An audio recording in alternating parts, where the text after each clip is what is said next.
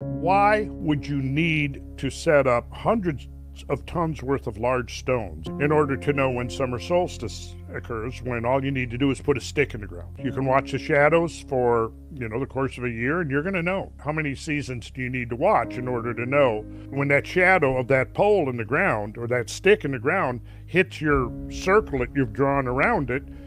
It's going to tell you the time of day, it's going to tell you the time of year.